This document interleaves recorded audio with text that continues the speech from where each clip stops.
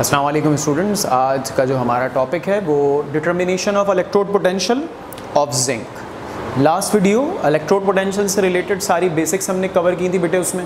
आज हम जिंक और कॉपर का इलेक्ट्रोड पोटेंशियल जो हमारी first year chemistry chapter number seven के कोर्स में मौजूद है बुक में मौजूद है, हम उसे डिस्कस करेंगे। आपको बताया था बेटे इलेक्ट्रोड पोटेंशियल निकालने के लिए किसी भी चीज़ के लिए वोल्टाइक सेल बनाना पड़ता है, जो कि दो सेल्स पे कंसिस्ट करता है। एक रेफरेंस जो कि कौन सा इस्तेमाल होगा? शी स्टैंडर्ड हाइड्रोजन इलेक्ट्रोड ये पूरी डिस्क्रिप्शन लास्ट वीडियो में मौजूद है। जबकि दूसरी तरफ़ वो इलेक्ट्रोड जिसका इलेक्ट्रोड पोटेंशियल निकालना है, वो मेटल का स्ट्रिप लें, उसके सोल्यूशन में आयनिक सोल्यूशन में डिप कर दें तो वो जिंक का हमने निकालना है। तो देखो बेटे जिंक का स्ट्रिप जिंक का छोटा सा पीस लिया हुआ है और उसको Z N S O four के अंदर डिप किया हुआ ये जिंक इलेक्ट्रोड और ये SHE. This is the voltaic cell diagram बनाने की कहेंगे अगर तो ये डायग्राम बनाएँगे आप। ठीक? अब इसकी वर्किंग की बात करते हैं। जैसे हमने वो इस सेल को जब कंप्लीट किया सॉल्ट ब्रिज लग गया ईच एंड एवरीथिंग तो क्या ऑब्ज़र्व करते हैं? इलेक्ट्रॉन्स की जो मूवमेंट है, वो जिंक इलेक्ट्रोड से कहाँ है? शी की तरफ़। इलेक्ट्रॉन्स जो मूव हो रहे हैं, वो जिंक से कहाँ हो रहे हैं? शी की तरफ़। अब ये इलेक्ट्रॉन ज़ाहिर सी बातें बेटे, दिखते नहीं हैं। ये दो तीन तरीक़ों से पता चल सकता है। नंबर वन ये जो वोल्ट मीटर या पोटेंशियोमीटर लगा होता है, इसका निडल अगर इस तरफ़ गिर रहा है तो इसका मतलब इलेक्ट्रॉन यहाँ से यहाँ जा रहे हैं, और अगर इस तरफ़ गिर रहा है तो इलेक्ट्रॉन यहाँ से यहाँ आ रहे हैं। लेकिन अगर डिजिटल आपके पास वोल्ट मीटर या पोटेंशियोमीटर है तो उसमें निडल तो नहीं होगी। उसमें तो इलेक्ट्रॉन यहाँ से वहाँ जाते हुए नहीं दिखेंगे सॉरी निडल इधर से उधर नहीं होनी। तो फिर कैसे पता चलेगा? आप देखेंगे कि अगर जो आपका मेटल का स्ट्रिप लगा हुआ है, वो आहिस्ता आहिस्ता क्या हो रहा है? डिजॉल्व हो रहा है। इसका मतलब यहाँ पे ऑक्सीडेशन हो रही है इलेक्ट्रॉन्स लॉस हो रहे हैं और वो जाएँगे कहाँ? वहाँ पे। लेकिन अगर ये जो मेटल की स्ट्रिप है आहिस्ता आहिस्ता क्या हो रही है? थिक हो रही है, इसके ऊपर डिपोजिशन हो रही है। इसका मतलब यहाँ क्या हो रही है? रिडक्शन हो रही है। तो हम क्या देख रहे हैं? इलेक्ट्रॉन यहाँ से यहाँ जा रहे हैं। मतलब कि जिंक इलेक्ट्रोड पे क्या हो रही है? ऑक्सीडेशन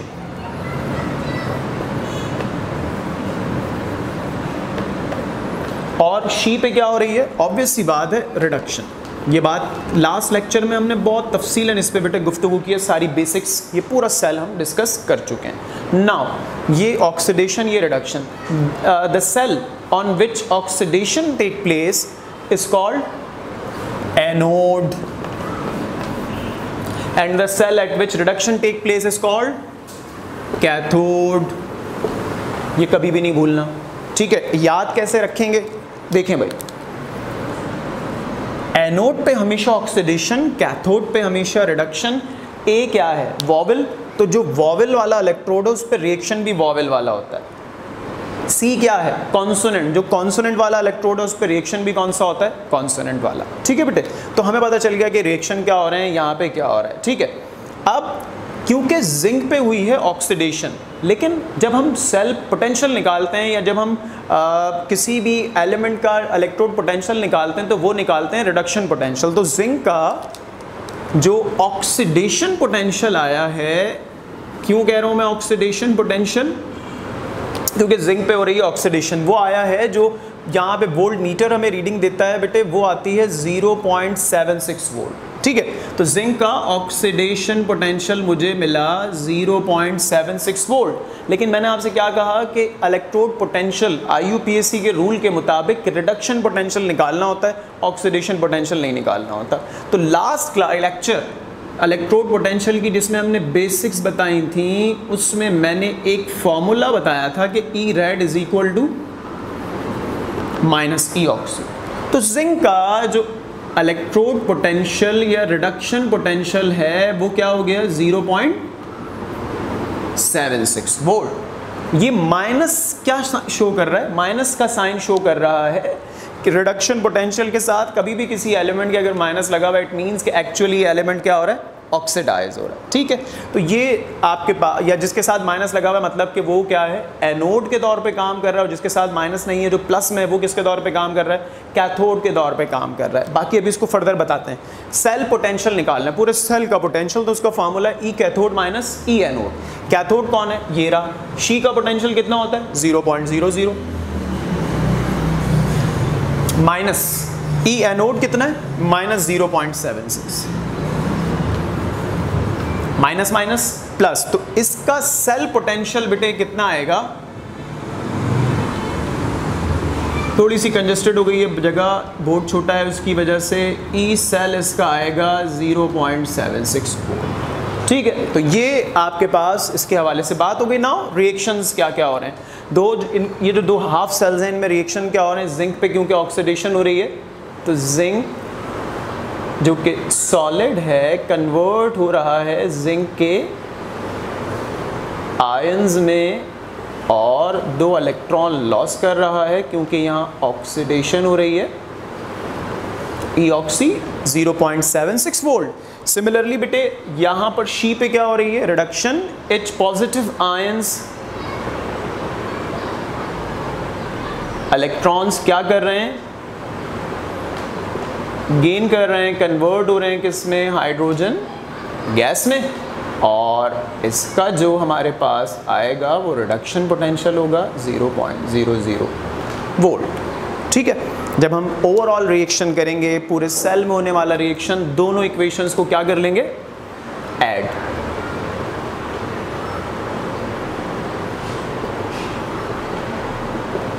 दोनों इक्वेशंस को क्या कर लेंगे?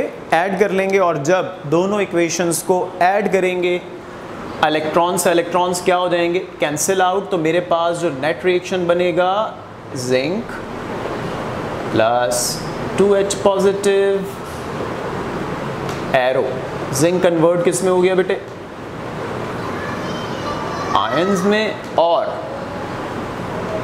हाइड्रोजन गैस बन गई that's it that is the electrode potential of zinc revise कर लेते हैं। ये जिंक का इलेक्ट्रोड पोटेंशियल निकालने वोल्टाइक सेल बना हुआ है। वोल्टाइक सेल में ये शी क्योंकि रेफरेंस है, ये जिंक का इलेक्ट्रोड जिसका पोटेंशियल निकालना है, क्या ऑब्ज़र्व किया गया? 0.76 वोल्ट वैल्यू दी हमें किसने? हमारे पोटेंशियोमीटर या वोल्ट मीटर ने। इलेक्ट्रॉन का ट्रांसफ़र यहाँ से यहाँ जाता हुआ दिखा। इसका मतलब कि जिंक वाले सेल पे क्या हो रही है ऑक्सीडेशन और शी पे क्या हो रही है रिडक्शन क्योंकि इलेक्ट्रॉन यहाँ से यहाँ जा रहे हैं, यहाँ इलेक्ट्रॉन गेन हो रहे हैं, यहाँ इलेक्ट्रॉन लॉस हो रहे हैं। जहाँ ऑक्सीडेशन होती है वो एनोड जहाँ रिडक्शन होती है वो कैथोड तो जिंक का इलेक्ट्रोड पोटेंशियल आया ऑक्सीडेशन पोटेंशियल 0.76 वोल्ट लेकिन क्योंकि ऑक्सीडेशन पोटेंशियल हम मेजर नहीं करते, हम उसको रिडक्शन पोटेंशियल में कन्वर्ट करना है तो ये क्या हो गया? माइनस सेल पोटेंशियल का फॉर्मूला लिखा हुआ E cathode minus E anode वो ये आ गया। उसके बाद रिएक्शन जिंक पे ऑक्सीडेशन शी पे रिडक्शन, ओवरऑल रिएक्शन में दो इलेक्ट्रॉन से दो इलेक्ट्रॉन कैंसिल हो गए। ये आपके पास बन गई इक्वेशन। अब हम बात करेंगे कॉपर के इलेक्ट्रोड पोटेंशियल की, कि किस तरह से कॉपर का इलेक्ट्रोड पोटेंशियल हम डिटरमाइन करते हैं। बिल्कुल इसी तरह से है बस थोड़ा सा फ़र्क है, वो हम यहाँ पे डिस्कस करेंगे। ठीक? अच्छा बेटे, कॉपर का इलेक्ट्रोड पोटेंशियल निकाल रहे हैं वोल्टाइक सेल बन गया। अब देखने में अगर देखेंगे पहली नज़र तो लगेगा ये तो वही का वही है। नहीं चेंज है। स्ट्रिप कॉपर की है सोल्यूशन कॉपर सल्फेट का है। ये कॉपर इलेक्ट्रोड कहला रहा है। ठीक है बेटे? शी कांस्टेंट है। पहले ही बताया था भाई, किसी भी चीज़ का इलेक्ट्रोड पोटेंशियल निकालना है तो शी तो रहेगा। बगैर शी के काम नहीं होता। ठीक है? तो स्टैंडर्ड हाइड्रोजन इलेक्ट्रोड या रेफरेंस इलेक्ट्रोड वहीं का वहीं है। कॉपर आ गया। इस बार जो हमें वैल्यू पता चली, वो पता चली, जनाब इस जो पोटेंशियोमीटर लगा हुआ है, इसने वैल्यू दी 0.34 वोल्ट ठीक है, और एक और चीज़ क्या ऑब्ज़र्व हुई है कि इलेक्ट्रॉन की जो ट्रांसफ़र इलेक्ट्रॉन की जो मूवमेंट है वो from SHE to copper electrode है। मतलब शी पे क्या हो रही है इस बार? ऑक्सीडेशन शी इस बार इलेक्ट्रॉन लॉस की तरफ़ चला गया। और कॉपर पे क्या हो रही है? रिडक्शन तो जनाब बाला कॉपर का इलेक्ट्रोड इस बार क्या है? कैथोड है एनोड है। कैथोड और शी क्या है इस बार? एन ठीक है? तो ये इस बार मामला थोड़ा सा क्या हो गया? डिफरेंट कैथोड पे क्या हो रही है? रिडक्शन तो कॉपर का जो पोटेंशियल आएगा, वो आएगा ही क्या? Reduction potential E red is equal to 0.34 volt क्या इसके साथ माइनस लगेगा? नहीं लगेगा. क्यों नहीं लगेगा? ये तो वही रिड्यूस रहा है. सिंक के साथ क्यों लगा था? क्योंकि वो ऑक्सीडाइज हो रहा था ऑक्सीडेशन पोटेंशियल को रिडक्शन पोटेंशियल बनाने के लिए उसके साथ हमने माइनस लगाया था। तो यहाँ से देखो एक बात पता चलती है कि रिडक्शन पोटेंशियल्स हमें बताते हैं tendency of an element to reduce Jin elements का रिडक्शन पोटेंशियल माइनस में होता है मतलब वो आहिस्ता से रिड्यूस होते हैं या वो रिड्यूस बहुत स्लो होते हैं या वो रिड्यूस नहीं होना चाहते। और जिनका प्लस में होता है, वो रिड्यूस आसानी से होते हैं। जितना ज़्यादा बढ़ता चला जाएगा पोटेंशियल रिडक्शन पोटेंशियल आसानी से रिड्यूस होंगे और जितना कम होगा उतने स्लो वो रिड्यूस होंगे। तो ये रिएक्टिविटी को बताता है, जिसको हम पढ़ते हैं किसमें? इलेक्ट्रोकेमिकल सीरीज़ में। जितने भी एलिमेंट्स हैं, उनके इलेक्ट्रोड पोटेंशियल्स निकाल के रिडक्शन पोटेंशियल निकाल के हमने क्या बना ली? एक सीरीज़ बना ली गई है। और उस सीरीज़ को हम क्या करते हैं फिर? स्टडी करते हैं एलिमेंट्स की प्रॉपर्टीज़ पढ़ने के लिए। ठीक है? अच्छा जी।